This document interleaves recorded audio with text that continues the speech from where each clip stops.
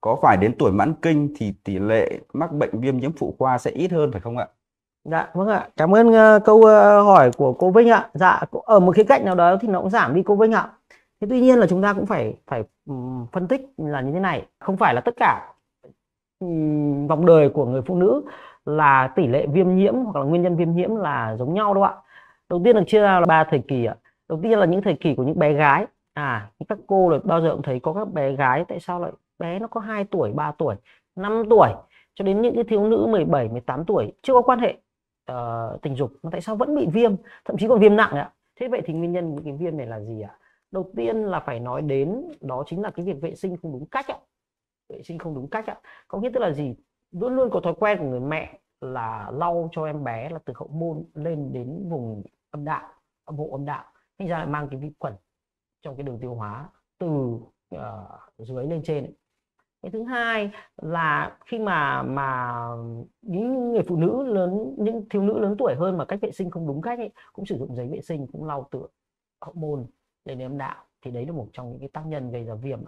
Cái thứ hai đó là có thể là bé những bé gái không biết thì khi mà mà uh, chơi ấy, thì hay cho tay vào và nó gây ra những cái tác nhân như vậy và ngoài ra là có những cái tác nhân ở trong nội tạng trong trong cơ thể. Vì vậy là những những bạn những bé gái và những phụ nữ chưa quan hệ tình dục vẫn bị viêm nhiễm như bình thường ạ. Thứ hai là ở độ tuổi sinh sản có quan hệ tình dục rồi thì các nhân rất là nhiều tác nhân từ bên ngoài vào tác nhân từ bản thân từ khi mà quan hệ tình dục thành ra là cái nguy cơ bị viêm nhiễm ở độ tuổi uh, sinh sản thì bao giờ cũng là cao hơn.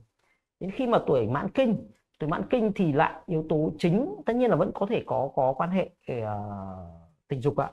Tuy nhiên rằng là thứ nhất là cái cái mức độ nó cũng sẽ ít đi ít đi rất nhiều thậm chí là đã mãn kinh và không còn quan hệ nữa. Vậy thì cái tác nhân chủ yếu chủ yếu của việc viêm nhiễm đối với những người mãn kinh ấy, là sự suy giảm nội tiết do từ buồng trứng tiết ra. Nó làm thay đổi cái môi trường trong âm đạo nó giảm cái dịch tiết ở trong âm đạo nó làm thay đổi cái pH ở trong âm đạo. Đấy là cái nguyên nhân chính gây ra viêm nhiễm chứ không phải là nguyên nhân do những cái tác nhân bên ngoài uh, như là quan hệ tình dục gây ra. Vậy thì đúng ạ ở những người mãn kinh có giảm đi và nguyên nhân khác hoàn toàn do những phụ nữ đang ở độ tuổi sinh đẻ